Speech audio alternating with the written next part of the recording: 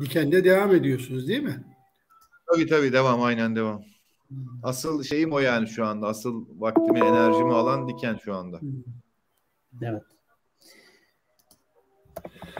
Biraz tabii Kıbrıs'ta da hani bağlantıyı canlı taze tutmak için de biraz zaten düşünüyordum tekrar.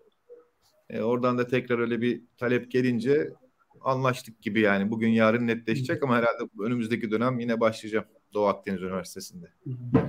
Diken iyi gidiyor ama. Bugün Başarılı. Teşekkür ederim. Sağ olun. Vallahi evet. biraz zor ama yani işte götürmeye çalışıyoruz yani inşallah. Evet. Daha iyi bir yere getirmeye çalışıyoruz. Zor tabii bu koşullarda ama. Celal Bey isterseniz başlayalım. Yayındayız şu anda biz. Öyle mi? Peki e, ne yapalım? E, bizi izleyenlere Derseniz merhaba biz diyelim. Şeyi yapın evet. Ardından Peki e, sevgili dostlar merhaba. E, TÜSES Yönetim Kurulu olarak hepinizi saygı ve sevgiyle selamlıyoruz. 2022 yılının e, klasik olarak hep şey söylerdik. E, iyi yıllar olsun derdik. Ama sanıyorum herhalde en iyi temenni ve kabul edilebilir temenni birazcık çıt, çıtayı aşağı düşüreceğiz. Geçmiş yılları aramayalım şeklinde bir yıl yaşayalım ama ben bunları söylerken 2022 yılı ile ilgili kendi adıma çok mutluyum. Hem ülkem adına hem dünya adına umutluyum. Özellikle ülkem adına umutluyum. Umarım deneyimlerim beni yanıltmaz, gözlemlerim beni yanıltmaz. 2022 yılının ilk etkinliğini gerçekleştiriyoruz. Dünyadan Sesler Toplantılar dizisi olarak adlandırdık bu toplantılar dizisini. İlk, ilk toplantımızı Kuzey Kıbrıs'ın seçimini ve Kıbrıs'ın bugününü yarınını konuşacağız. Sayın Mehmet Ali Tarat Bey ile konuşacağız. Mehmet Ali Tarat Bey hepinizin duyduğu, ettiği, bildiği bir isim. Kuzey Kıbrıs Türk Cumhuriyeti'nin ikinci Cumhurbaşkanı. 2000'li 2005 yılında göreve geldi. Erdal Güven Bey dostumuz da bu toplantının moderatörlüğünü yapacak. Ee, ben kısaca Kıbrıs'ın tarihiyle ilgili bir şeyler söylemek istiyorum. Osmanlı ve öncesine dönmek istemiyorum. Ee, çok arkaya doğru kaçış olur o. Kıbrıs 1960 yılında İngiltere, Türkiye ve Yunanistan'ın garantörlüğüyle kurulu olan bir devlet.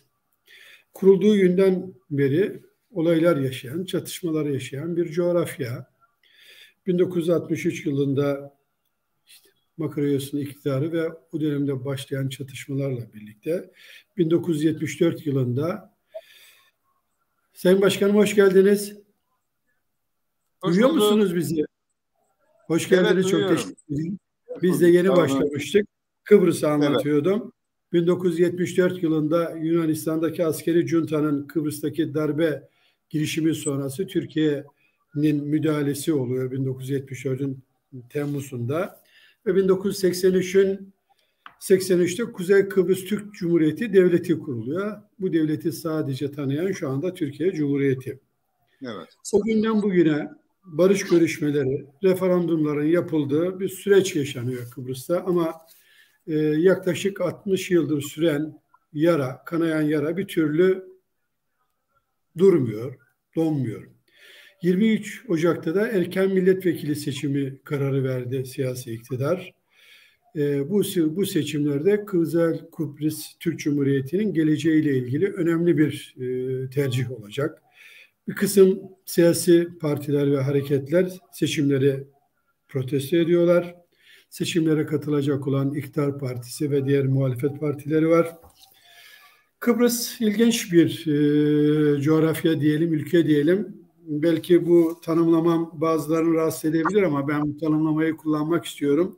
Türkiye hapşırdığı zaman KKTC'nin zatüre tehlikesi yaşadığı bir ülke ekonomik olarak özellikle. Acaba bu seçimler ve bu seçimler sonrası Kıbrıs'ta barış, demokrasi ve bir arada yaşama kültürü egemen olabilecek mi? Bu süreç nasıl olacak? Bunu Sayın Talat'la dinlemek istiyoruz. Ben kısaca Sayın Talat'ı tanıtayım üniversite eğitimi Türkiye'de yaptı. Orta Doğu Teknik Üniversitesi mezunudur kendisi. O yıllarda bildiğiniz gibi 70 yılları dünyada özellikle demokrasi hareketinin, sosyalist hareketin çok güçlü olduğu ve ses getirdiği yıllar. O dönem içerisinde Kıbrıslı gençler, ilerici ve yüzsever kesimleri diye tanımladığımız gençler KÖGEF denilen bir derneği kurarlar. Bu derneğin ilk genel başkanı da Sayın Talat'tır. Sonrasında Sayın Talat orada çözüm çözümsüzlüktür diyen anlayışa karşı Kıbrıs'ta barışın, demokrasinin ve bir arada yaşamanın gerekliliğini anlayışı ifade eden bir siyasi mücadele verir. Kıbrıs'taki Cumhuriyetçi Türk Partisi'nin yöneticisi olur, başkanlığını yapar. Sonrasında Eğitim ve Kültür Bakanı olur, Devlet Bakanı, Başbakan Yardımcısı ve Denktaş'tan sonra Kuzey Kıbrıs Türk Cumhuriyeti'nin ikinci Cumhurbaşkanı olur. 40 yıl sonra CTP'nin adayı Kıbrıs'ta Cumhurbaşkanlığı seçimini kazanır ve KKTC'nin yurt dışına açılımında çok ciddi katkıları olan bir politika izler kendisi. Sevgili moderatörümüz Erdal Güven de 1991 yılında Cumhuriyet Gazetesi'nde mesleğe başlıyor. Sonrasında farklı yayın organları, Yeni Yüzyıl, Radikal gibi organlarda özellikle öncelikle dış haberler konusunda yazılar, şeflik ve yazı işleri müdürlüğü yap, yaz, yapıyor. Ağırlıklı olarak e, dış politika konusunda köşe yazılara devam ediyor. Halen Kıbrıs'ta Doğu Akdeniz Üniversitesi'nin İletişim Fakültesi'nde öğretim üyeliğini sürdürmeye karar vermiş. Bir dönem bırakmıştı. Biraz önce kendisinden öğrendim. Tekrar başlıyor. İnternet gazetesi Diken'in yayın yönetmeliği yapıyor. Aynı zamanda hepinizin daha doğrusu e, yandaş medya dışında beslendiğimiz en önemli kanallardan bir tanesi Diken. Kendi adıma kendisine de teşekkür ediyorum böyle bir kanalın yönetmeliğini yaptığı için, zor bir süreci yönettiği için. Ayrıca Erdal Bey'in bir özelliği var. Helsinki'den Kopenhag'a Kıbrıs kitabının yazarı. Daha da bir özelliği adam Talat'ın Kıbrıs'ı kitabının da yazarı. Çok teşekkür ediyorum değerli iki konuğa. Ben sözü Sayın Erdal Göğen'e bırakıyorum. İyi toplantılar diliyorum. TÜSES Yönetim Kurulu adına hepinizi saygıyla selamlıyorum. Erdal Bey buyurun. Teşekkür ederim Celal Bey. Merhabalar Başkan. Ee, evet şimdi biraz e, hani niye buradayım diye bugün düşünüyorum da bugünlerde biraz gündemde olan hani bir ifade var. Ee, kitabını yazmak. Ee, tabii bambaşka bir bağlamda kullanılıyor bizde burada ekonominin kitabını yazmak.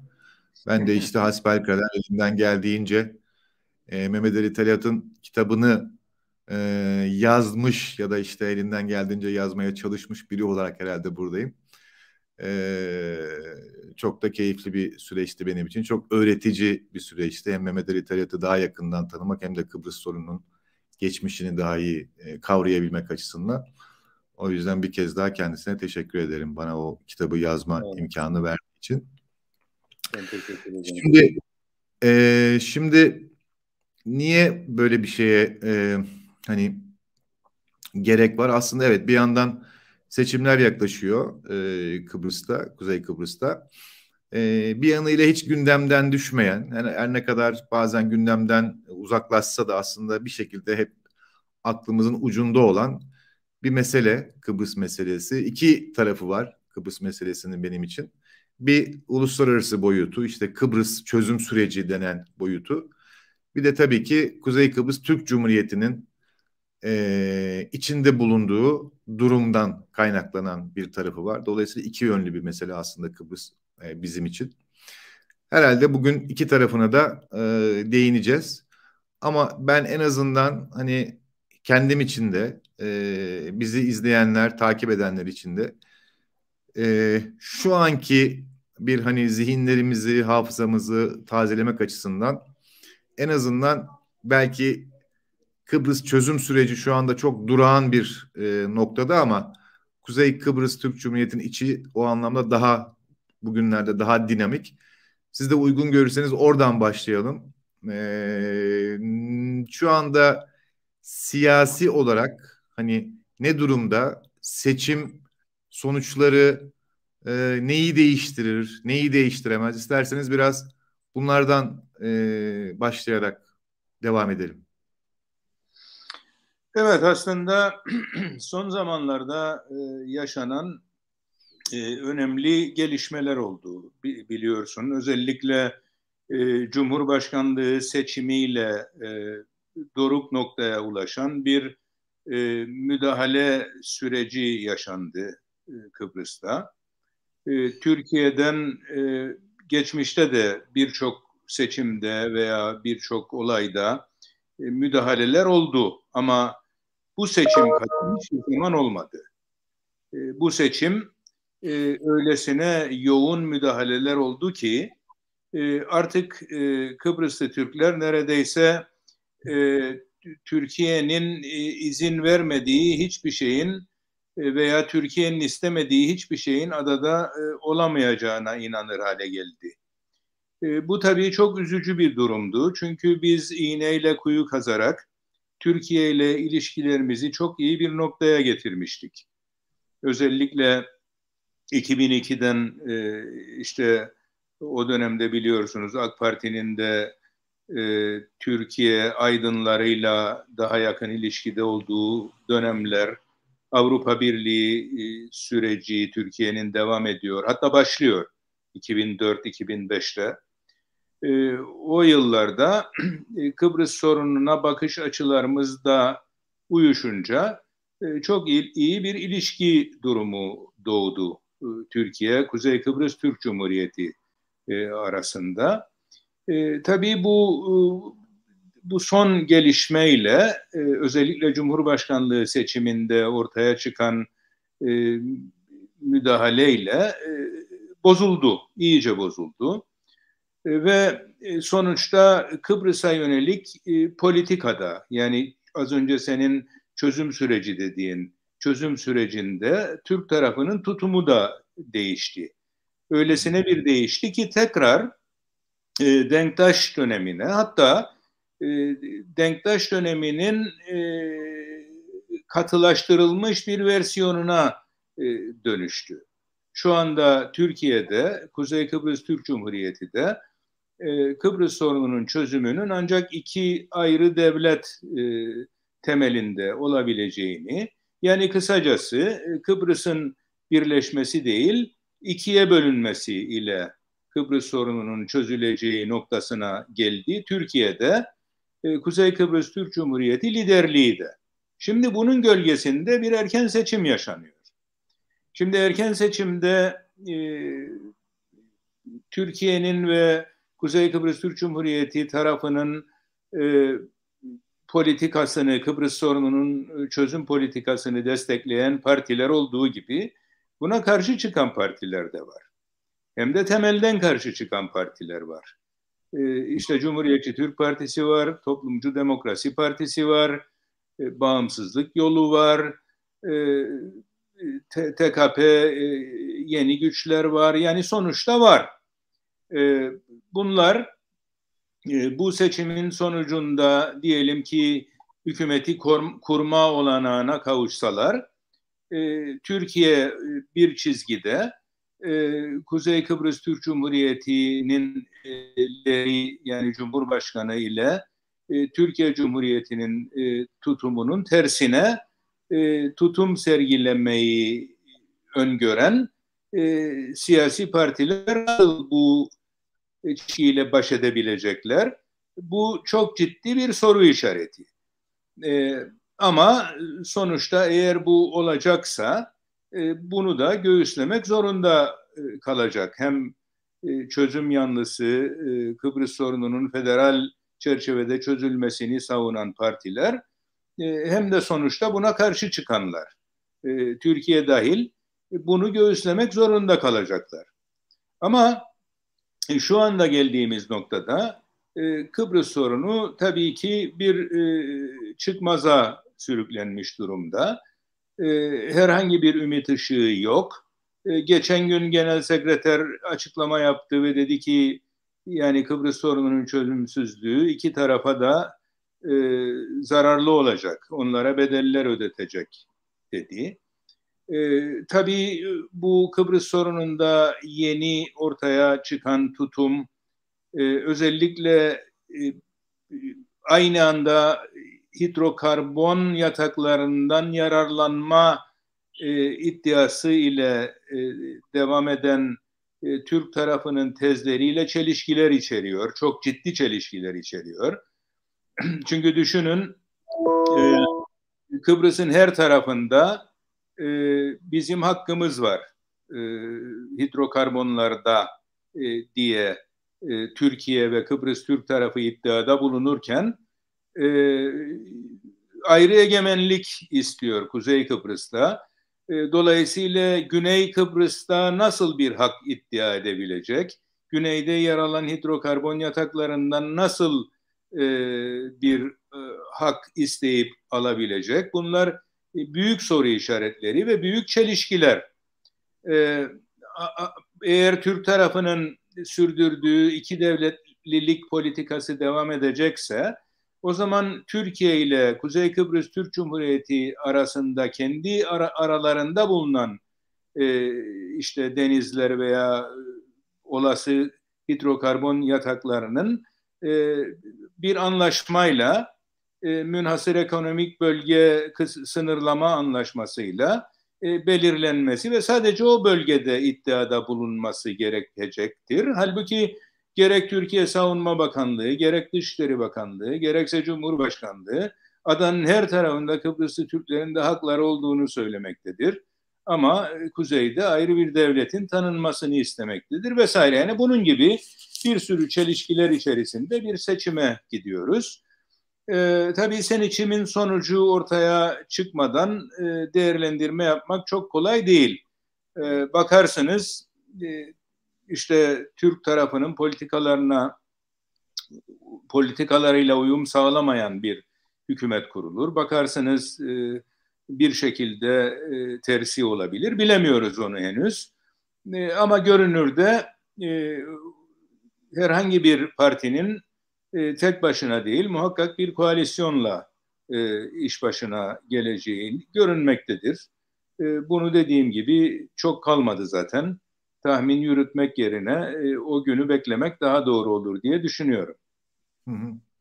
Anladım. Evet ben de yani biraz e, takip edebildiğim kadarıyla çok net bir tablo yok. Seçim evet. sonuçta ilişkin çok e, yani net bir tahmin yapmak, kuvvetli bir tahmin yapmak çok şey değil. Peki o zaman seçimlerden yani seçim sonuçlarından bağımsız olarak tabii ki büyük ölçüde e, orada kurulacak hükümetin izleyeceği e, politika tabii ki önemli ama sonuçta hani biz bizeyiz e, aslında buradaki belirleyici faktörün yani Türk tarafı dediğimiz Türkiye ve KKTC'nin izleyeceği e, politikanın e, büyük ölçüde işte Cumhurbaşkanlığı yani KKTC Cumhurbaşkanı e, toplumsal görüşmeci olarak ve Ankara arasında belirlendiğini tabii bunun dengeleri değişebilir. Sizin döneminizde daha böyle bir hani işte uzlaşıyla gidiliyordu belli bir dönem boyunca en azından.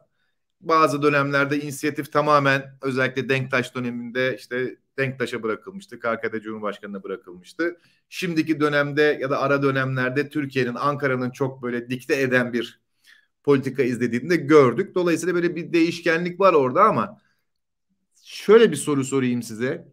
E, bütün bunlardan bağımsız olarak ne olursa yani e, bölgesel anlamda, uluslararası anlamda ne olursa bu bahsettiğiniz çıkmazdan kurtulabilir Kıbrıs'taki çözüm süreci? Evet, e, çok güzel bir soru. E, bunu bu yeniden şeyi hatırlayalım. Siz de çok iyi hatırlıyorsunuz. Türkiye'nin Avrupa Birliği süreci e, varken, canlıyken e, uluslararası e, konjonktür Kıbrıs sorununun çözümünü zorunlu kılıyordu ve Türkiye'de bunun idraki içerisindeydi. E, bunu idrak edince de e, işte Kıbrıs sorununun çözümünü destekleyen Türkiye, Avrupa Birliği ile ilişkileri geliştirmek için Türkiye'deki demokratikleşmeyi, işte tabii Avrupa Birliği üyesi olabilmek için müktesebatı ta uymayı, Türkiye'deki ekonomik ve diğer her çeşit e, yasa, yasaları Avrupa Birliği ile uyumlaştırmayı vesaire yaşayan e, bir e, Türkiye'de e, ilişkiler de çok iyiydi. Türkiye ekonomisi de büyük bir e, rüzgarı yakalamış, e, e, gelişiyordu, büyüyordu. E, yani demek ki uluslararası alanda e, Türkiye'nin Avrupa Birliği sürecini canlandırmak, Avrupa Birliği ile uyum içinde bulunmak ve adaylığını da e, Türkiye'nin e, ileriye götürmek, e, yeni başlıkların açılması için çaba ortaya koymak, bunun için Kıbrıs sorununun çözümünü e, öngörmek, belki tek başına bunu Türkiye çözemez, tek başına Kıbrıs Türk'ü de çözemez. E, nitekim Annan planına evet diyen Kıbrıslı Türkler Kıbrıs sorununun çözümünü sağlayamadı. Evet. E, dolayısıyla Türkiye ile işbirliği içinde Türk tarafının hazır hale gelmesi, e, çözüme hazır hale gelmesi ve e, Rum tarafını da e, gerek Avrupa Birliği'nin gerekse Birleşmiş Milletler'in veya tek tek büyük ülkelerin, Amerika'nın vesaire e, teşvik etmesiyle e, yeni bir müzakere süreci ve bunun sonucunun alınmasıyla birlikte e, Türkiye'nin gerek ekonomik gerek e, demokratik açıdan gerek e, siyasi açıdan daha üst bir noktaya, daha üst bir lige yükselmesi, e, bütün bunlar dediğim gibi Türkiye'nin Avrupa Birliği süreciyle e, uyumlu ilişkilerinin başlamasına bağlı gibi görüyorum.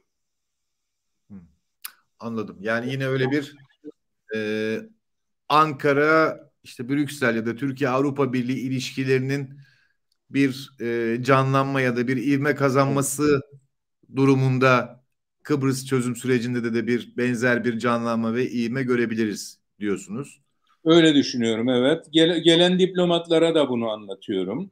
Hı hı, ee, hı. Yani işte dün Alman Büyükelçisi ziyaretime geldi. Ona da anlattım. Ee, yani gerçek durum budur. Bir, bir an önce e, Türkiye'nin e, dünyayla ama tabii en başta Avrupa Birliği ile ilişkilerinin iyileşmesinin e, çok yönlü yararlı ola, yararları olacağını e, bilmemiz lazım. Peki ee, biraz da öbür tarafa bakalım. Yani güneye bakalım. Ee, orada nasıl bir hani e, toplumsal ve siyasi bir e, psikoloji var çözüm süreciyle ilgili. E, yani Anastasiades tabii bir dönem e, hani benim de çok işte o zamanlar gidip gelirken izlediğim dönemde e, çok en azından görüntüde çok samimi bir şekilde e, Karades'ten sonra Karades'le birlikte çözüm sürecini destekleyen bir e, anlam planından yana e, bir politikacı olarak bir öyle bir profil çizmişti. Sonra kendisi Cumhurbaşkanı oldu. E, yani çözüm yanlıların tarafından eleştirildiği de hatta çözüm sürecini işte tıkamakla gerekli esneği göstermemekle eleştirildiği de oldu. Ee, şu anki durum ne orada? Yani diyelim ki böyle bir şekilde bir ivme kazandı. Ankara kaynaklı, Brüksel kaynaklı, şu bu. Ee, Rum tarafında e, hava nasıl? Bir e, çözüm sürecine, bir çözüme hazırlık anlamında. Şimdi aslına bakarsanız Rum tarafındaki durum çok ilginç. Ee, bir kere e, Transmontana en son e, Türkiye Türk e, Türkiye'de dahil e, iki toplumun e, ve Yunanistan'ın da katıldığı, İngiltere'nin de katıldığı o meşhur zirve yapılmıştı biliyorsunuz. E, Crans Montana zirvesi. Evet. E, önce Montpellieran'da çünkü zirve o zaman başlamıştı. E, Montpellieran'da arkasından da Crans Montana'da Anastasiadis e, her ikisinde de e, yalana başvurdu. Birincisinde Montpellieran'da e, Türkiye'nin e, Kıbrıs sorununun çözümünde güvenlik meselesini yani garantörlük meselesini de görüşmeye hazır olduğunu ifade etmesi üzerine e, Anastasiadis e, ilmeğin kendi boynuna geçeceğini düşünmeye başladı. Önünde de seçimler vardı. E, biliyorsunuz güneyde yani Rum tarafında seçim dönemleri milliyetçilik yükselir. E, öyle bir özelliği var Güney Kıbrıs'ın. E, bu e, seçim arifesinde Kıbrıs sorununun çözümünden korkma, korktu Anastasiadis ve e, önemli bir yalan söyledi. E, dedi ki e, Kıbrıs'tan Akel Genel Sekreteri beni aradı ve e, gelişmelerden hoşnut olmadığını söyledi ve e, Kıbrıs'a dönüp istişare etmemizi istedi e, dedi. E, bu yalandı tabii. E, ben e, konuştum Akel Genel Sekreteri ile hiç böyle bir olay olmadığını e, ifade etti. Tamamen yalandır dedi. E, ben böyle bir görüşme yapmadım kendisiyle dedi ve neyse ama o, o orayı e, atlatarak Kıbrıs'a döndü. Sonra tabii mecburen bu yalanı da ortaya çıkınca e, Montana zirvesine katılmak zorunda kaldı. Crans Montana da bu defa Kıbrıslı Türklerin siyasi eşitliği ile ilgili konularda e, mızırlık yapmaya başladı sıkıntı çıkarmaya başladı. Ee, e, Türkiye'nin e, dediğim gibi e, garanti anlaşmaları, asker bulundurma meselesiyle ilgili konuların da e, esnek bir şekilde görüşülebileceğini tekrar ima etmesi üzerine e, Çavuşoğlu'na yani Türkiye Dışişleri Bakanı'na kulağına fısıldayarak e, bu seçimleri bitirelim e, ben seçileyim yeniden. Seçildikten sonra ben iki devletli çözüm görüşmeye, konfederasyon görüşmeye hazır olacağım dedi. Bu büyük bir yalandı tabii. Ee, ama bu e, Türkiye'yi e, kandırmaya veya ikna etmeye diyeyim. Ben kandırmaya derim genel olarak yetti. Çünkü Türkiye e, gerek Sayın Çavuşoğlu gerek e, Türkiye'nin işte dış politikasında rolü olan e, kişiler Sayın Cumhurbaşkanı da dahil olmak üzere e, bunu kendilerine e, hani e, körün istediği bir göz e, bir çift göz gibi gördü gördüler ve bunun üstüne atladılar e, dediler ki çok iyi bu iki devletli çözüm tam da bizim idealimiz. Ama bu yalandı. E, nitekim Türkiye Rum Başpiskopos e, Hristostomos da Anastasiadis'in kendisine de bunu çıtlattığını söyleyerek benim bu söylediğimi doğruladı. Hı-hı. Sadece o değil, başkaları da doğruladı. Sayın Çavuşoğlu da bunu çok iyi biliyor zaten. E, sonuçta e, Türkiye e, bu işe e, kapıldı, e, inandı ve e, Sayın Akıncı'yla da e, çelişkiye düştü. Çünkü Sayın Akıncı bu sözlerin yalan olduğunu, e, Rum tarafının iki devletli çözüme gelmeyeceğini, bunun uydurma olduğunu, e, bildiği için e, Türkiye demedi kendine göre. Hatta Türkiye ile çatışmayı da göze aldı veya çatışır durumda buldu kendisini. Türkiye'yi ikna ed- etme yerine e, çatışma noktasına geldi ve o meşhur biliyorsunuz Türkiye'nin bütün gücüyle e, seçimlere müdahalesini de sağladı.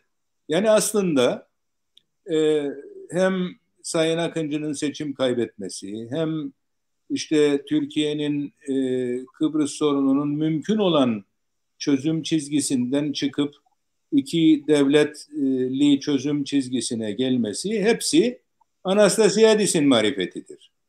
O yüzden sizin sorunuza vereceğim cevap e, Güney Kıbrıs'ın e, tabii bütün bu gelişmelerden sonra artık e, çok da fazla e, işte Kıbrıs sorununun e, çözümünü ister noktada e, olmasının da önüne geçmektedir yaşanan gelişmeler.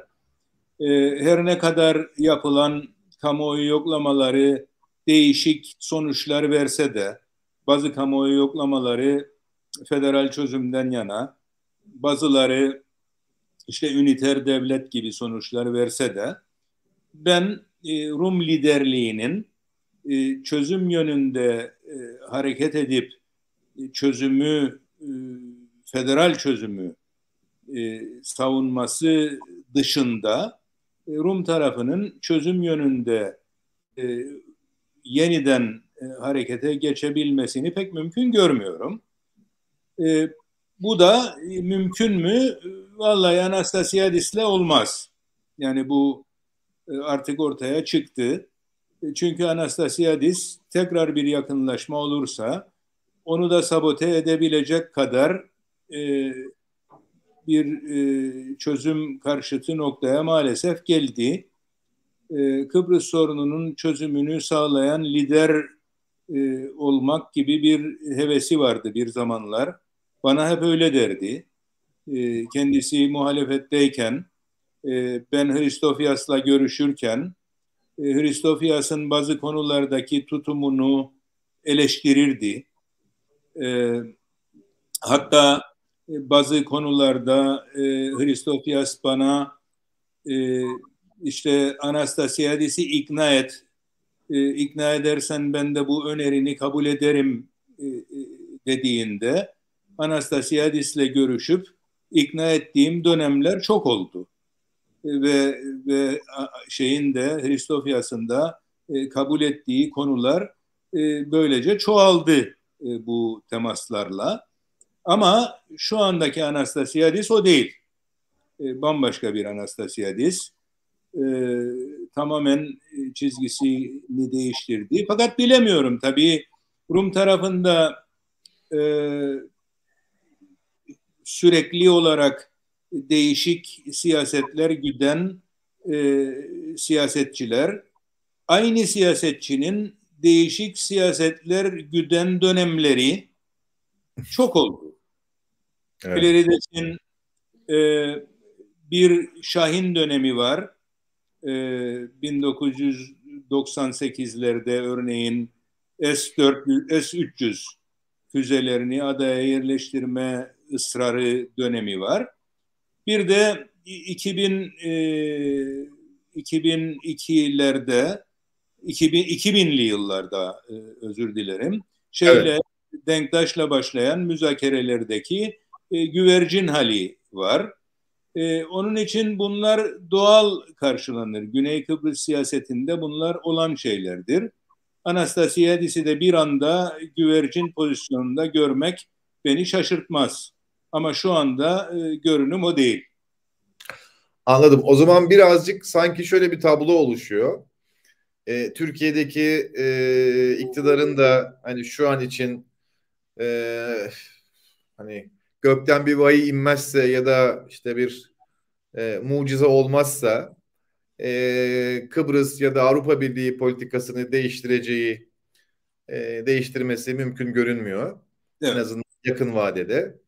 Dolayısıyla e, kuzeyde zaten e, çözümsüzlükten yana olduğunu net bir şekilde her fırsatta neredeyse dile getiren bir cumhurbaşkanı var.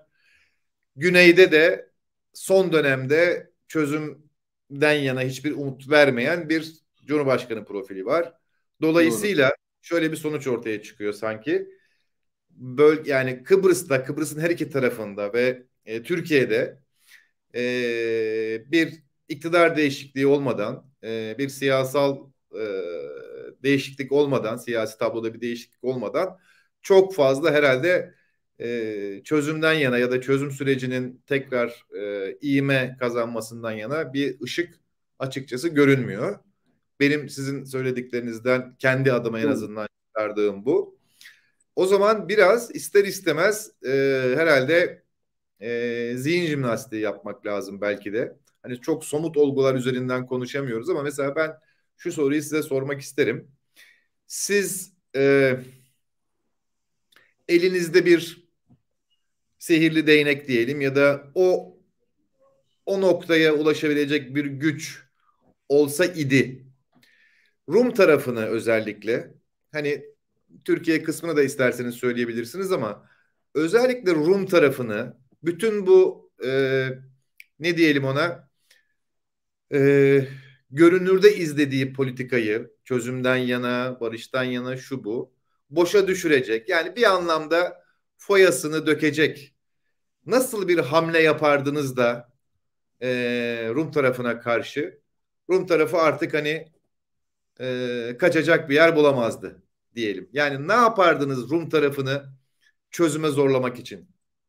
Evet aslında o e, Crans Montana'nın hemen arkasından yapılması gerekendi. Hı hı. E, çünkü e, Rum tarafı Birleşmiş Milletler parametrelerinin dışına çıkmıştı. Şöyle düşünün, e, işte Kıbrıs Türk tarafı ile Rum tarafı iki toplum deyin ona, taraf demeyin, iki toplum. Peki. İki toplum siyasi eşit olacak. Bu genel sekreterin çeşitli raporlarında ne demektir? e, anlatılmıştır e, siyasi eşitlik. Karar alma süreçlerine etkin katılım. E, şöyle diyordu genel sekreter, e, şimdi e, iki tarafın siyasal eşitliği e, kurumlarda eşit sayılarla temsil edilmeyi gerektirmiyor. Ama her iki tarafında karar alma süreçlerine etkin katılımlarını öngörüyor. Yani bir bakanlar kurulunda örneğin e, eşit sayıda Kıbrıslı Rum ve Türk'ün olması e, değil öngörülen ama Bakanlar Kurulu'nun kararına etkin olarak Kıbrıslı Türklerin de katılması öngör, öngörülüyor. Bu da ne demektir? Demek ki Kıbrıslı Türklerin bir kısmının da hiç olmazsa ayrı çoğunluk aramasanız da bir kısmının da en azından kararlara olumlu oy vermesi gerekiyor. Bu e, Affedersiniz. Mesela somuta indirirsek hani ben şu Yok. anda tam rakamları tabii unuttum. Çok zaman geçti üstünden ama yani mekanizma olarak en azından bir Türk bakanın da onayının alınması gerekiyordu. Evet, şöyle düşünün. Biz bunu biz bunu Hristofias'la şöyle formüle etmiştik. Sekiz Rum bakan olacak. Hı hı. Beş de Kıbrıslı Türk bakan olacak. En az iki Kıbrıslı Türk onay evet. verecek. Evet. Hı hı. Ha, Türklerin ayrı çoğunluğu değil. Çünkü ayrı çoğunluk zaten üç gerektiriyor beş olduğunda. Evet. evet. Ama iki bakan e, evet diyecek. O zaman e, Bakanlar Kurulu karar almış olacak. Ve bu bütün kurumlarda böyle olacak. Evet. Orada bir anlaşmazlığımız vardı. E, kurullar tamam diyordu Hristofias da. E, örneğin e, tapu dairesinde bir olay düşünün. Tapu dairesinin müdürü var Rum muavini var Türk. Hı hı. Bu her ikisinin de e, konsensus ile karar vereceği anlamına gelmemeli. Örneğin su dairesinin e, müdürü Türk, e, muavini Rum. O zaman yine bir konsensus aranmamalı. Daire müdürü kimse kararı o vermeli. Bunu tartışıyor. Yani biz tercih ediyorduk birlikte karar versinler. O ise bunun tıkanabileceğini e, öngörüyordu. Ama kurullarda yani bizde kamu hizmeti komisyonu örneğin yani e, devlet dairelerine personel istihdamını yapan kurum eşit sayıda Türk ve Rum'dan oluşacaktı. Orada eşitlik vardı. Hı hı eşit sayıda Türk ve Rum'dan oluşacaktı. E, kararlarını da dediğimiz daha önce ifade ettiğim gibi belli sayıda Kıbrıslı Türk'ün de katılması şartıyla alabilecekti. Aynı şekilde belli sayıda Kıbrıslı Rum'un katılmasıyla da e, alabilecekti. Çünkü eşit sayıdaydılar zaten orada Türk ve Rumlar. Bunun gibi e, konular tartışılıyordu. Anast şeye gelince Anastasiadis e, Akıncı görüşmelerine e, orada bir Kıbrıslı Türk e, şartına dönüştü e, şey e, bu etkin katılım e, meselesi. E, Krans Montana'da e, şey e, Anastasiadis bunu reddetti. Hı hı. Dedi ki e, her kararda bir Kıbrıslı Türk'ün onayını istemek e, Kıbrıslı Türklere veto hakkı vermek demektir. E, ve veto hakkı e, yanlış bir şey olur. E, süreci tıkar, kararları tıkar ve e, tıkanan e, işte işleyiş sonucunda e, yeniden e, bölünme ortaya çıkabilir. E, anlaşma daha e, sıkıntılar e, ortaya çıkabilir uygulamada e, demeye başladı ve e, buna itiraz etti. Ama bakın bu bu Birleşmiş Milletler tarafından ta 1990'larda yani siyasi eşitliğin tarif edildiği zamandan kararlaştırılmıştı. Ve özellikle 1998'de yani 1999 Helsinki zirvesi öncesinde e, rahmetli Ecevit'in dönemindeki Helsinki zirvesi öncesinde Avrupa Birliği'nin ve e, New York'ta başlayan e, Türk-Rum e, dolaylı görüşmelerinde, aracılı görüşmelerinde e, bu temel bir, Birleşmiş Milletler Güvenlik Konseyi'nin aldığı bu temel ilke zemin teşkil etmişti. O da e, işte siyasi eşitliği tarif ediyordu. Bir, ikincisi de e, mülkiyet çoğunluğunun e, Türklerin kontrolündeki bölgede Türklere ait, Rumların kontrolündeki bölgede de Rumlara ait olacağını karara bağlıyordu. Yani hem siyasi evet. eşitliği hem mülkiyet sorununun çözümünün temel prensiplerini Güvenlik Konseyi kararı haline getirip 1999 müzakerelerin başlangıcı öncesinde e, Birleşmiş Milletler'in e, bu tanımları e, esas e, alınmalıydı ve öyle de oldu. E, o çerçevede görüşmeler başladı. Bunu bile e, işte Anastasiadis reddediyordu. Reddetti Krans Montana'da. E, dolayısıyla da e, Anastasiadis'in Birleşmiş Milletler'in parametrelerinin dışına çıkışını Sayın Akıncı ve Türkiye yetkilileri derhal bütün dünyaya e, hem duyurarak hem ziyaretler yaparak e, büyük gürültüler kopararak anlatmalıydı.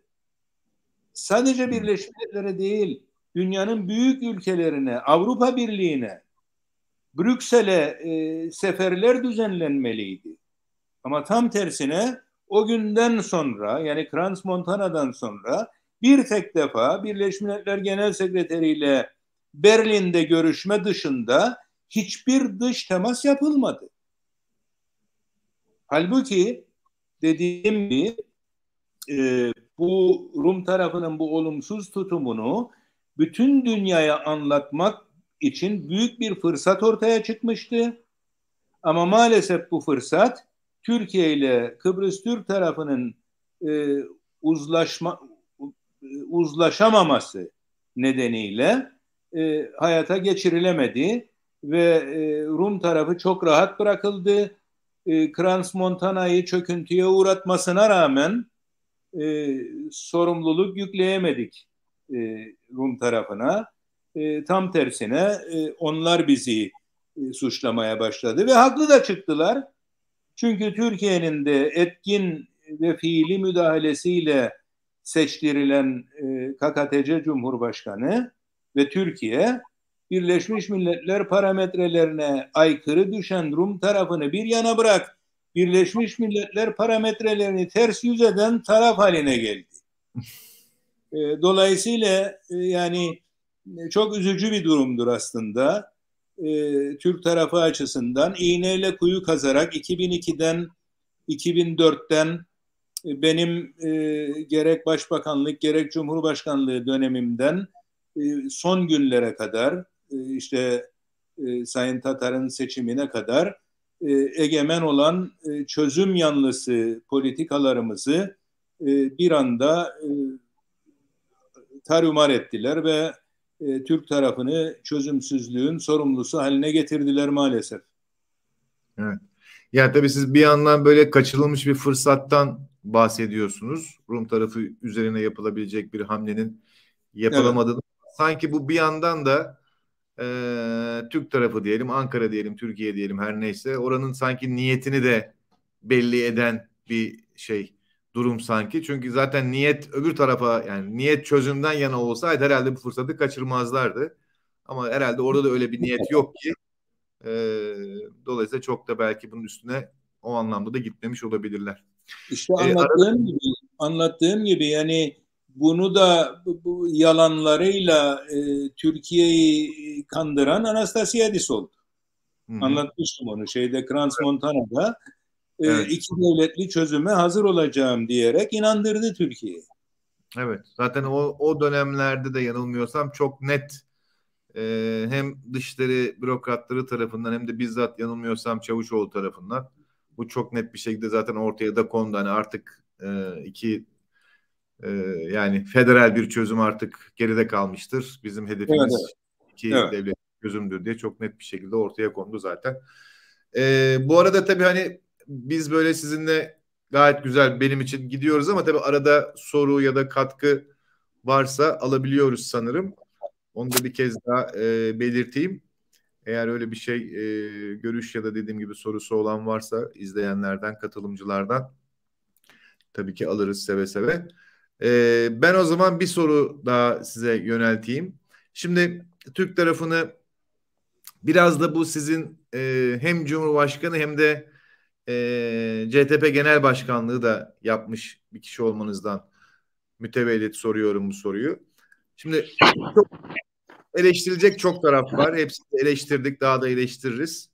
Efendim Rum tarafı, Türkiye, Ankara, e, Kıbrıs'taki iktidar yani Kuzey Kıbrıs'taki iktidar şu bu. Siz e, genel başkanlığını yaptığınız e, partinin ve genel olarak yani hem CTP'nin hem de çok net bir şekilde geleneksel olarak öteden beri çözümden yana tavır almış e,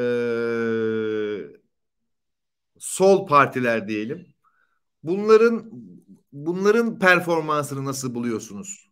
Yani biraz da hani kendimize bakarsak, kendimiz derken hani Kıbrıs, Kuzey Kıbrıs'taki çözüm yanlısı siyasi güçleri, siyasi partileri ele alırsak onların performansını nasıl buluyorsunuz?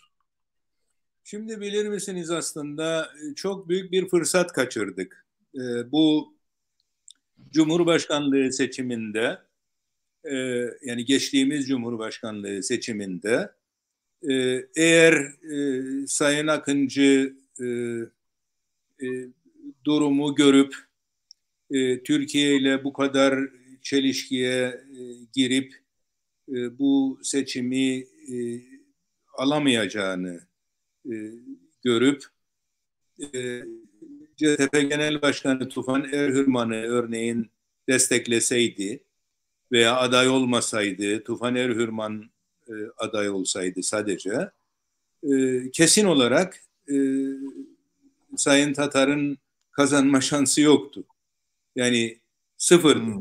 kazanma şansı. Ama bu görülmedi. Yani Türkiye ile kavga ederek ben bu seçimi alırım. Sonra da e, sarayda tek başıma otururum. Bana hiçbir iş yaptırmazlar falan e, demedi ve e, aday oldu. Bu kavgaya girdi. E, Türkiye'ye rağmen seçim kazanıp e, Kıbrıs sorununu Türkiye'ye rağmen bir yere getirebilecek gibi bir havaya girdi ve sonuçta sol veya çözüm isteyen diyelim, sol demeyelim, çözüm isteyen Kıbrıslı Türkler büyük bir yenilgiye uğradı.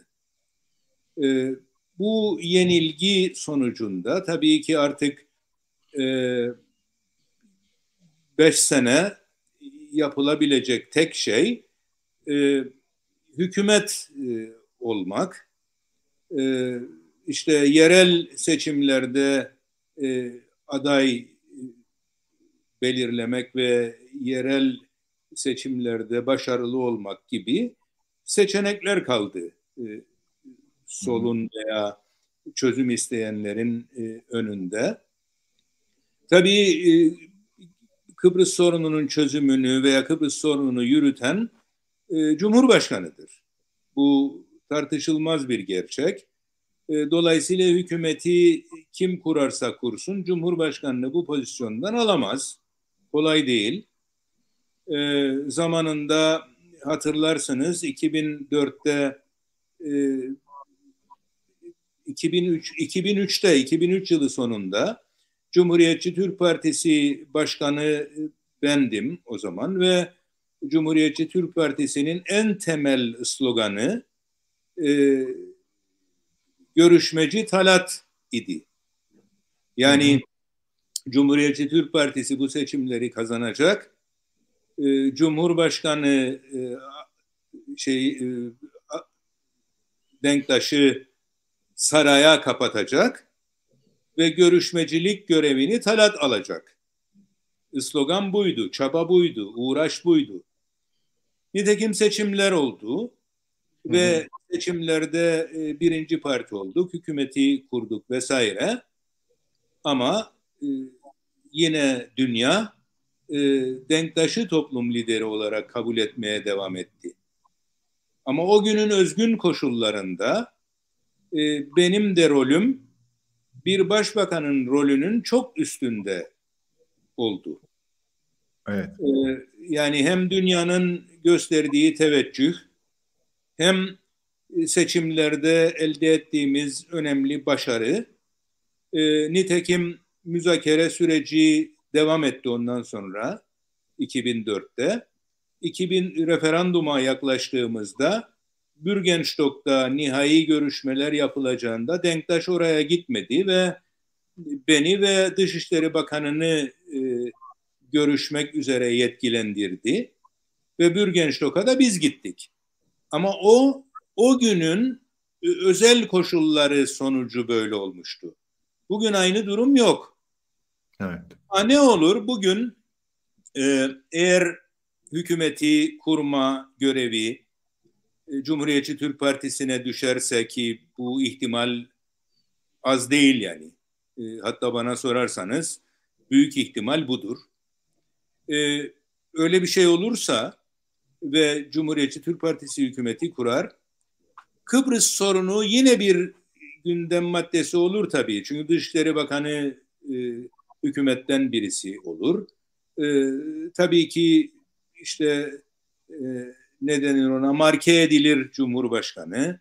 E, Türkiye ile temaslarda çözümün önemi anlatılır. Tekrar o eski günlere dönülmesi gerektiği anlatılır falan ama en önemli görevi böyle bir hükümetin e, ekonomiyle ilgili ortaya koyacağı performanstır. Çünkü Şimdi müsaade ederseniz müsaade ederseniz siz tabii cümlenizi tamamlarsınız ama tam da onunla ilgili bir soru var. İsterseniz onu da ileteyim ben size. Jale Özgen Türk'ten gazeteci dostumuzdan bir soru var. Der ki Türkiye'nin ekonomik krizi KKTC'yi nasıl etkiledi? Erken seçimde ekonomik durum nasıl bir rol, rol oynar erken seçim sonuçlarında diye bir sorusu var. Bunu evet. iletmiş oldum. Tam da siz zaten bu noktaya gelmiştiniz. Çok yerinde ve zamanı iyi bir soru oldu. Bir de bir hatırlatma yapayım. Facebook ve YouTube üzerinden e, soru alıyoruz. Bunu da hani hatırlatmış olayım. Buyurun. Evet, e, çok e, doğru bir soru. Hem doğru hem de şöyle yani Türkiye'nin ekonomik krizi KKTC'yi e, KKTC'deki ekonomiyi yıktı. Tam anlamıyla yıktı. Yani şöyle düşünün. E, işte Kuzey Kıbrıs Türk Cumhuriyeti'nde e, her şey hemen hemen ithal. E, burada üretim son derece kısıtlı. E, gıda maddeleri dahil, e, işte diğer sanayi ürünleri vesaire tümü ithal. Ve Türkiye'den bile ithal edilen ürünlerin e, e, fiyatları dolar veya euro ile ifade ediliyor. Hani Türk lirası kullanalım, bizim paramız Türk lirasıdır. Ne gezer? Hiç öyle bir şey yok. Türkiye'den bakla ithal edecekseniz e, fiyatı dolardır. E, işte e, gübre ithal ediyoruz Türkiye'den e, tarımsal amaçlı gübre e, fiyatı dolardır ve üçe katlanmıştır fiyatlar. Hatta belki daha fazla bazı ürünlerde. İlaçlarda, tarımsal ilaçlarda aynı şekilde. Ee, insanların aldığı ilaçlarda da öyle.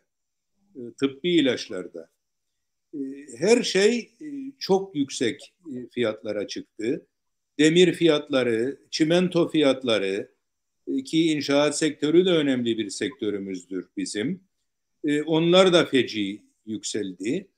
E, dolayısıyla Türkiye'nin çok üstünde e, bir enflasyonla e, karşı karşıyayız. E, alım gücü e, çok kötü etkilendi. Çünkü zaten her şey Türkiye'den geçmişte de daha pahalıydı. Şimdi iyice e, pahalı oldu. E, bunun seçimlere etkisi ne olacak? Tabii ki iktidar partisine e, bir bedel ödetecek. Yani şu anda Ulusal Birlik Partisi, e, Demokrat Parti koalisyon hükümeti var. E, Demokrat Parti'ye nasıl etkisi olur bilmem ama Ulusal Birlik Partisi'ne iyi bir bedel ödetecek. çünkü bu salgın döneminde yani sadece Türkiye'nin ekonomisinin çöküşü değil aynı zamanda salgın döneminin de yanlış yönetilmesiyle Kıbrıs Türk ekonomisi çok büyük yaralar aldı. Düşünün e, ilk e, Covid vakası e, Kuzey Kıbrıs Türk Cumhuriyeti'nde e, bir Alman kafilede görüldü, turist kafilesinde ve o gün her şey kapatıldı adada. Okullar kapatıldı, e, kamu daireleri, her şey kapatıldı. E, bakkallar, bankalar ve e, benzin istasyonları dışında hayat tamamen kapatıldı. Onun için e, yani Türkiye'de böyle olmadı mesela. Hatta dünyanın hiçbir yerinde böyle olmadı. Hele hiç Covid vakası neredeyse görülmeden. E, ondan sonra 70-80 gün hiç vaka görülmedi. Hala her şey kapalıydı bizde. 70-80 gün boyunca. Dolayısıyla bu salgın dönemi de yanlış yönetildi. O da yıkım sağladı. Ee, bir de Türkiye'nin son günlerde ortaya çıkan bu ekonomik kriz ve özellikle Türk lirasının değer kaybı e, bizi iyice can evimizden vurdu. Ee, Türk lirası kullanmanın e, yani neyse şeyi e, bedeli onu ödedik ve ödemeye devam ediyoruz hükümet e, habire borçlanıyor. Borçlarla maaş ödüyor. E, özel sektör çok büyük zorluklar içinde e, boğuşuyor. E, özellikle küçük üretici, esnaf, zanaatkar kesimler e, büyük bir yıkım yaşıyor. Yani Türkiye'nin fevkinde onu ifade etmiş olayım. E, hı çünkü Türkiye'de e, Türk lirası e, değer kaybet derken burada daha da fazla değer kaybetmektedir. Yani döviz e, Kuzey Kıbrıs'ta daha yüksek değer bulmaktadır. E, çünkü döviz ihtiyacı fazla olduğu için ithalat e, bakımından e, dövizin değeri Türkiye'nin de üstüne çıkmaktadır. E, o yüzden yani çok kötü etkilemiştir. Seçimleri de bence iktidar partisine daha fazla bedel e, ödetecek biçimde sonuçtan e, etkisi olacaktır. Anladım. Bir sorumuz daha var. Ee, Sevda Yüzbaşıoğlu'nun bir sorusu var. Ee, Türkiye'de siyasi tablo değişiyor gibi görünüyor. Bu değişim rüzgarı KKTC yapılacak erken genel seçime etki edebilir mi? Ee, sanmıyorum. Yani erken genel seçime etkisi olmaz herhalde. Çünkü unutmayın Türkiye'de 2023'te olacaksa seçim bir süre önce olabilir tabii ama yani öyle görünüyor ki 2023 yılı hemen arifesinde olacak bir seçimdir. Bizdeki erken seçim şimdi oluyor. Ve bir şey daha söyleyeyim. Özellikle Kıbrıs sorunu konusunda e, şu anda e, muhalefette yer alan partilerin e, tutumunun e, açı, tutumunun e, değerlendirmesini e, yapacak olursak e, şu andaki hükümetin politikasından pek parlak görünmüyor. Bunu da unutmamak lazım. O yüzden Türkiye'deki siyasi tablonun değişmesi Kıbrıs'ta özellikle çözüm isteyen kesimi çok fazla rahatlatmıyor. E, o nedenle bu konuya çok e, net bir cevap veremeyeceğim.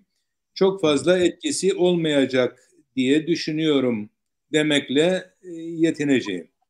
Anladım. E, Muvaffak Kılıçeri'nin sorusu.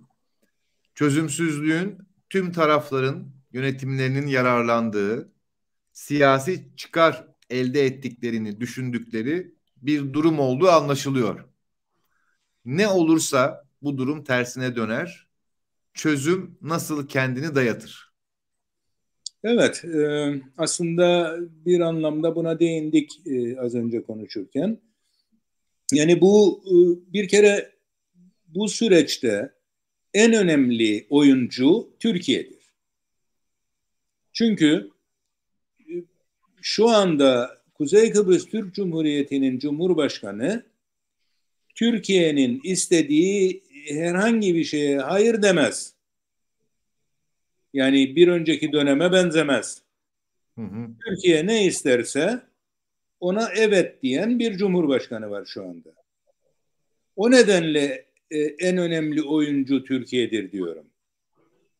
Ha, Türkiye açısından e, Kıbrıs sorununun e, çözümü nasıl tekrar Türkiye'nin gündemine gelebilir? Bir kere şunu söyleyeyim.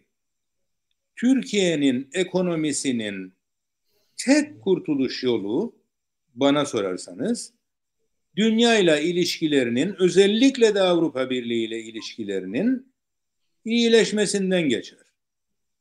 Ben öyle görüyorum. Bunu çünkü daha önce yaşadım. 2004'te, 2005'te Türkiye'nin resmen müzakerelere başladığı günlerde ben Cumhurbaşkanıydım. Ve ben e, Brüksel'de bunun için çok çalıştım. Türkiye'nin müzakerelere başlayabilmesi için Türk heyetlerinin Brüksel'de e, çaba ortaya koyduğu dönemlerde e, ben de e, işte Annan planına evet diyen e, Kıbrıs Türk tarafının lideri olarak e, çok önemseniyordum Avrupa Birliği'nde. Dünyada da ama özellikle Avrupa Birliği'nde. Ve e, Türkiye'nin e, bu süreci e, desteklemesi sonucu bu noktaya geldiğimizi, Türkiye desteklemeseydi çözüm sürecini, Kıbrıslı Türklerin bu kadar rahat sandıklara gidip e, olumlu oy vermesinin e, mümkün olmayabileceğini e, Avrupalılara e, anlattık ve e, Türkiye ile müzakerelerin bir an önce başlaması gerektiğini ve süreç içinde Kıbrıs sorununun çözümüyle birlikte Türkiye'nin de Avrupa Birliği'nde yer alacağını, almasının e, gerekli olacağını e, anlattık. Türkiye de bunları anlattı. Ve nitekim Türkiye müzakerelere başlayabildi. Bugün de yani Avrupa Birliği ile müzakerelere başlama bir yana ama Türk ekonomisinin e, hem dış yatırım alması hem e, dünya tarafından e, olumlu şekilde etkilenecek e, ekonomik adımların atılması Türkiye'nin uluslararası ilişkileriyle yakından ilgilidir. Ve ayrıca Türkiye'nin kendi iç hukukunu Avrupa ilkeleri e, veya modern dünya, demokratik dünyanın e, ilkeleriyle uyumlu hale getirmesi e, gibi konular da Türk ekonomisini olumlu yönde etkileyecektir. O nedenle ben Türkiye'nin bunu görebileceğini, göreceğini düşünüyorum. Görmemesini de hala daha anlayamıyorum. Benim bildiğim Türkiye böyle Türkiye değildi veya eski aynı insanlar, aynı e, kişiler e, daha farklı düşünüyorlardı, daha farklı davranıyorlardı ve ben bugün Türkiye'yi tanıyamıyorum, anlayamıyorum. E, bu yolla ekonominin nasıl büyüyeceğini düşündüklerini de ben düşünemiyorum. Onun için e, ben e, inanırım ki e, Türkiye e, doğru olanı e, mutlaka seçimli veya seçimsiz bilemiyorum. Belki seçimlerden sonra, belki seçimlerden önce e, yakalayıp e, doğru e, ekonomik kalkınma modeline yeniden döner diye düşünüyorum ve umuyorum. Peki aslında e, bu söylediklerinizle e, birebir alakalı ama bir yandan da kısmen yanıtladığınız bir soru var. Salih Turcan'dan der ki Türkiye'ye rağmen çözüm mümkün mü? Hayır. Hayır. Mümkün değil. Ben, yani şimdi bir şöyle düşünün. İsterseniz onu da ekleyeyim. Birinci Hı-hı. sorusu Türkiye'ye rağmen çözüm mümkün mü? İkincisi de biraz aynı aslında Ankara ve Atina çözümde samimi mi ya da buna Atina çözümde samimi mi diye alabilirsiniz ilk soruyu yanıtlayacaksanız. Londra'nın bir etkisi olur mu? Hı hı. Anlıyorum. Şimdi şöyle e, en büyük oyuncu dedim ya Türkiye'dir burada. Hı hı. Yani tabii ki Londra'nın da etkisi olur ama İngilizler e, farklı bir e, ülkedir farklı bir ulustur. İngilizler meşhurdur tavşana kaç tazıya tut der. Efendime söyleyeyim e, işte e, böler e, tarafları ve yönetir. E, bunlar İngilizlerin e, önemli ilkeleridir İngiliz politikasının e, uluslararası ilişkilerde. O yüzden gerçi, ben gerçi Kıbrıs'ta birleştirip yönetmeye çalışıyorlar ama ondan ondan da emin olmayanlar var bilir misin e, Erdal? Ondan emin olmayanlar var ve epeycedir yani. E, evet. Azınlık değillerdir. E, çeşitli örnekler de yaşamadım değil bende yani. Ansızın İngiliz Başbakanının işte muhatabım olan Hristofias'a Hristofias'ı Londra'ya davet edip çözüm olursa üsler bölgesini sizlere hediye edeceğim e, evet. demeye kalkışması örneğin e, çok önemli bir olaydı ve ben e, İngiltere e, Büyükelçisine aylarca randevu vermedim o nedenle. Çünkü yani bu Kıbrıslı Türklere büyük bir e, saygısızlıktı bir yana. İkincisi de e, Rum tarafını desteklediğini gösteren bir e, adımdı, bir tutumdu.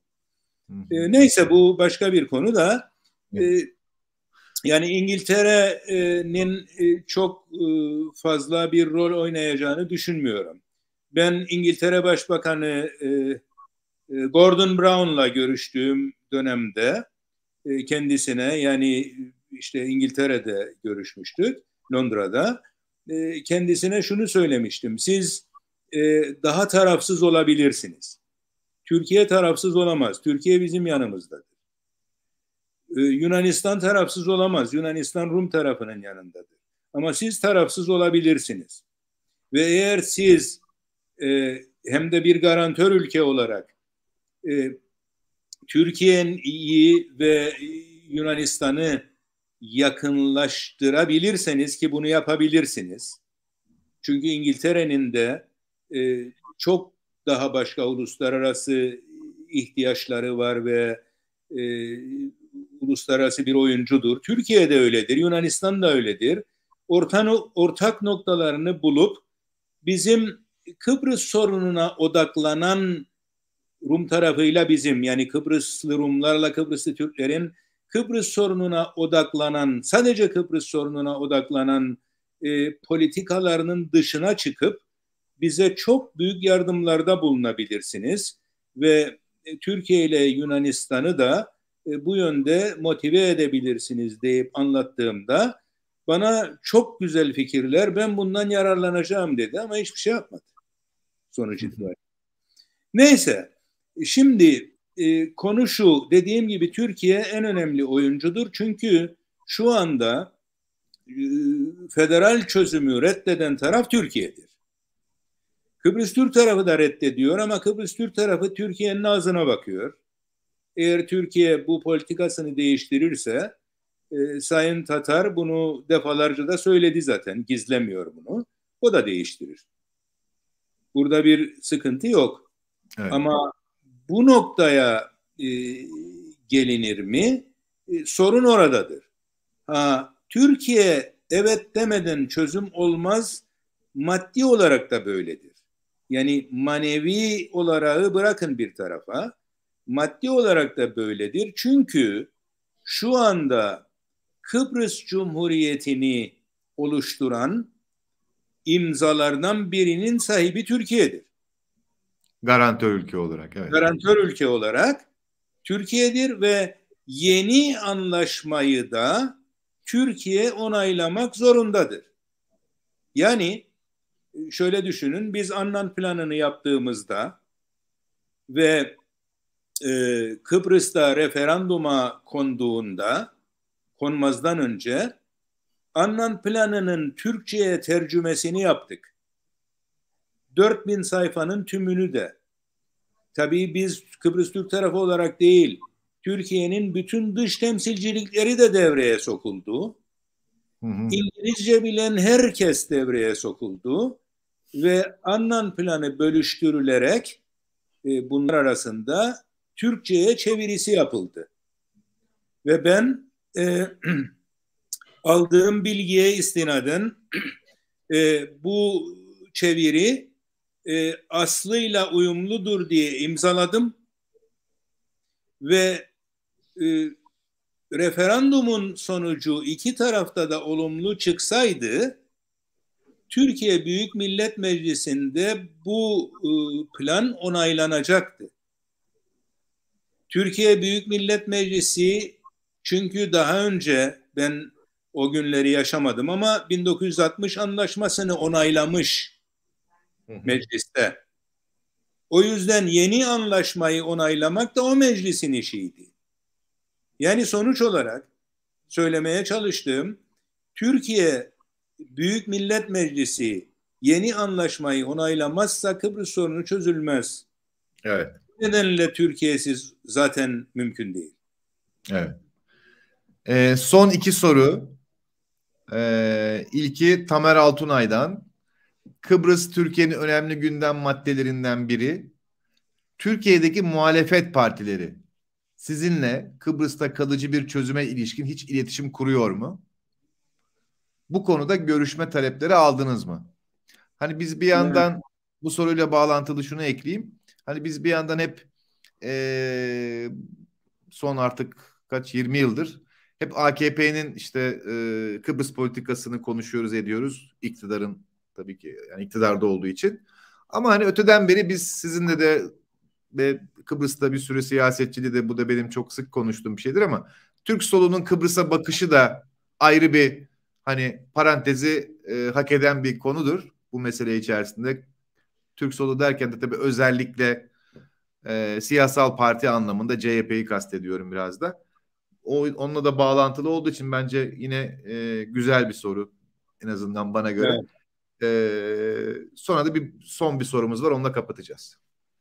Ee, bu soruya olumlu cevap veremeyeceğim. Yani e, muhalefet e, partilerinin Kıbrıs'ta kalıcı bir çözüme ilişkin bizimle herhangi bir temasları maalesef olmadı. Hatta e, Sayın Kılıçdaroğlu'nun Kıbrıs ziyaretinde e, benden randevu alınmış olmasına rağmen e, son anda e, iptal etti e, bu randevuyu.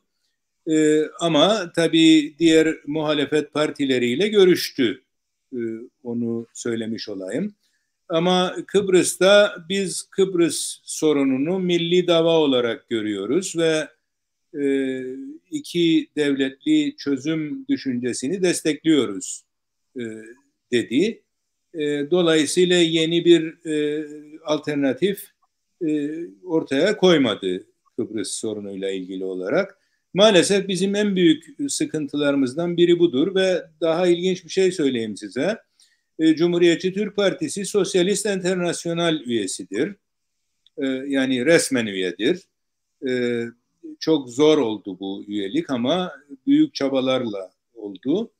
Ve orada örneğin Cumhuriyet Halk Partisi ile maalesef çok iyi ilişkiler kurulamıyor Kıbrıs Şöyle sorunu nedeniyle. Şöyle desem yanlış bir şey söylemiş olur muyum? CHP'ye rağmen üye oldunuz oraya. Hayır öyle demeyeyim. Yani daha ziyade şeye rağmen biliyor musun? EDE'ye rağmen. EDEK var ya Güney Kıbrıs'ta. Evet. EDEK reddetti. E, ısrarla reddetti. E, fakat e, sağ olsun Papandreou'nun özel ilgisiyle Cumhuriyetçi Türk Partisi çok büyük uğraşlardan sonra ve dediğim gibi Papandreou'nun özel ilgisiyle üye olabildi oraya. Yani konu şudur, umarım yani ve isterim Cumhuriyet Halk Partisi de diğer partilerde Kıbrıs sorunu konusunda Kıbrıslıları dinler. Dinler dediğim yani dinler ve anlamaya çalışır. Çünkü çok üzgünüm ama yani gerçekten çok büyük sıkıntılar yaşadık biz Türkiye muhalefetiyle Kıbrıs sorunu konusunda. E, diğer konularda görüşlerimiz uyuşsa da e, Kıbrıs konusunda maalesef e, aşırı bir e, milliyetçi çizgi e, ortaya konuyor. E, yani çok istiyoruz e, yakınlaşalım, görüş alışverişinde bulunalım. Zamanında rahmetli Ecevit'le bu konuları ben çok konuştum hak verdiği zamanlar oldu bana ama yine kendi düşüncesini sürdürmeye devam etti. E, ilk defa işte Kıbrıs sorununda e, önemli aşama kaydettiğimiz dönem AK Parti hükümetiyle oldu. E, ve o nedenle zaten e, bir süre biliyorsunuz Türkiye'nin ekonomisi gelişti, dünyayla ilişkileri çok iyi noktalara vardı falan. E, sonra o bozulunca tabii yine e, yine ilişkilerde, e, ekonomide ciddi yaralar aldı. Evet. 2003, 2008, 2009 arasından bahsediyorsun. Evet. öyle bir dönem geldi geçti diyelim maalesef. Evet. Ee, ben soruları aktarıyorum ama tabii arada e, Facebook'tan, YouTube'dan e, özellikle TÜSES'e ve katıldığınız için tabii ki size teşekkür mesajları da alıyoruz e, Erol Kızılelma'nın mesela son olarak sizi özlediğini belirten yıllar önce de dinlemiş sizi SODEV'in bir toplantısında. E, size sağlık ve esenlik diliyor. Bu tür mesajlar da alıyoruz. Ben daha çok soruları tabii yöneltiyorum size. Son sorumuz e, Vincent Bouvard'dan e, iklim değişimi. Biraz ilginç bir soru. İklim değişimi adanın ne kadar gündeminde? Vallahi ee, çok gündeminde siyasi bir faktör olabileceğini düşünüyor musunuz? Ee, evet, evet düşünüyorum. Tabii şu var, e, Kıbrıs'ta maalesef, e, yani Güney Kıbrıs'ta da, e, ama galiba yanlış söyledim, Güney Kıbrıs'ta bir şey e, iklim daha doğrusu çevre ile ilgili bir siyasi parti var. Hı hı. E, ama e, biliyorsunuz çevreciler genelde e, barışçı olur, e, ilerici olur, e, çözüm ister. E, bunlar öyle değil. Bunlar e, yani nasıl söyleyeyim?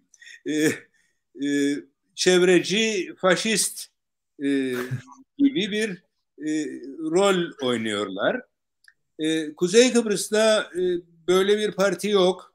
Yani çevreyle ilgili bir parti ama e, sol partilerin e, gündemlerinde çevre var. Yani iklim değişimi e, zaten adamızı çok fena vuruyor.